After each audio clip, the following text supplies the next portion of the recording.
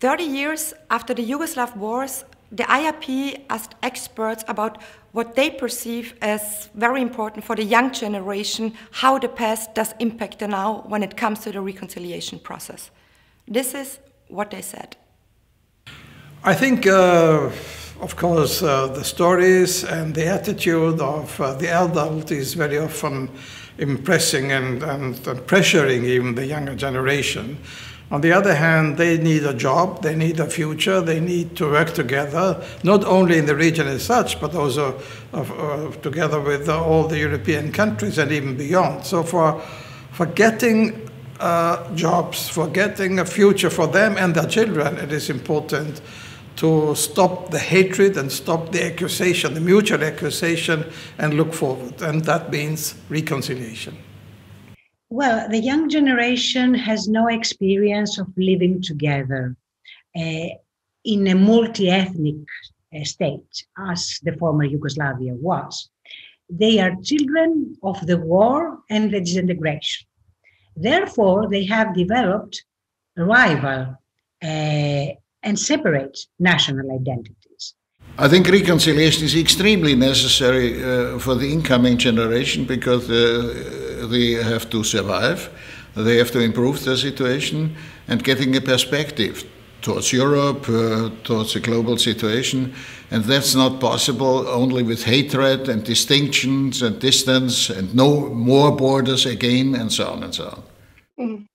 I believe that uh, the youth carry the heavy, heavy burden of previous generations, and that affects their future uh, very much.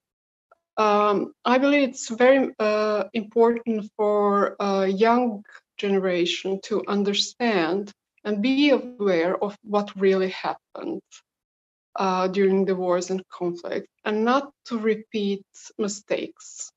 I think that, that the most important uh, lesson young generations need to take from, from the wars in the 1990s that there is no political, no economic, no historical uh, issue uh, that can be solved by using violence.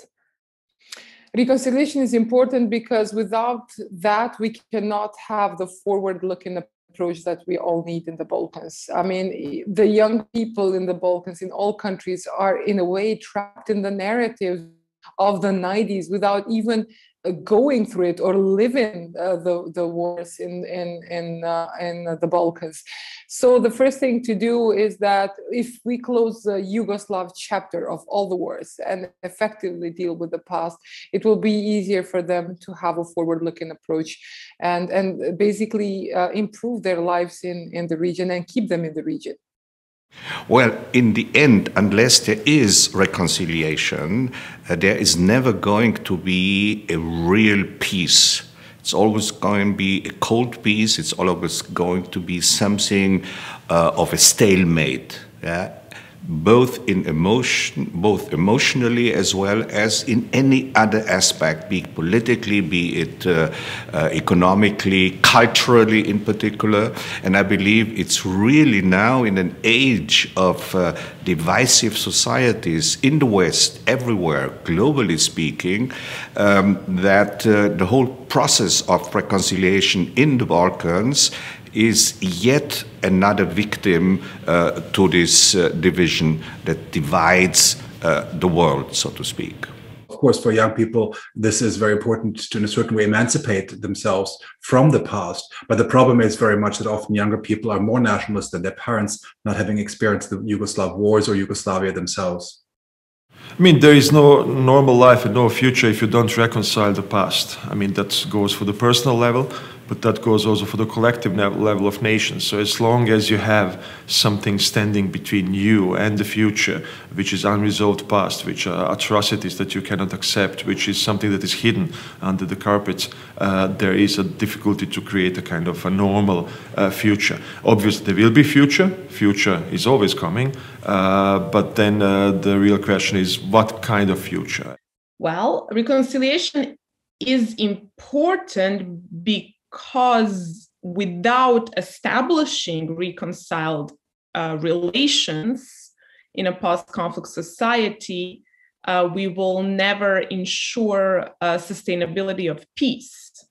So, just from that perspective alone, it is important for everyone, particularly for the younger generations who are um, claiming the future and, and claiming the public space um, in the future.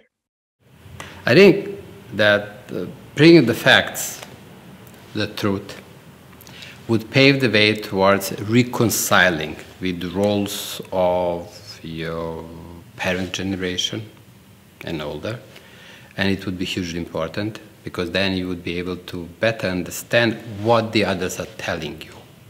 I think it's important so they can live. I mean, or, or the young generation can can uh, really have normal lives. Uh, in a way, they're very often exploited as almost as proxies for things that happened before they were born or before that generation was born. I think everybody is impacted by the, the legacy of conflict. We see it in conflict affected communities like mine that, that often look like the, the war ended only uh, a couple months ago. Um, but I think on a general level, we also see it in the in the public discourse, um, in the way it hinders economic, cultural, social cooperation. And um, as I often say, I, I, do think that a reconciliation is a job for generations, and that without generations that didn't actually take part in waging the wars, um, we cannot fully um, fully reconcile. We have to deal with the past in one way or the other way. We were not participating directly in the in the wars, or we haven't experienced maybe directly the wars, but still, I think it's present. And I think that for the future and in the future, I think that the most important thing is that we all work together to to establish a better reconciliation in the region and to establish also a new path also towards the EU of course, many young people now have grown up not really focusing anymore what happened 30 years ago, 20, 30 years ago. But um, but it can happen to them. So if they travel, if they meet at parties or at some festivals, you, after COVID, yeah, you, you meet people from somewhere else. Maybe they fall in love with someone, and then they realize he or she comes from the former enemy group, maybe somebody from a family, from a country, an ethnic group that was the enemy before. So, of course, this is important for them to know what happened and also to learn to deal with fear and anger in a different way than their uh, predecessors.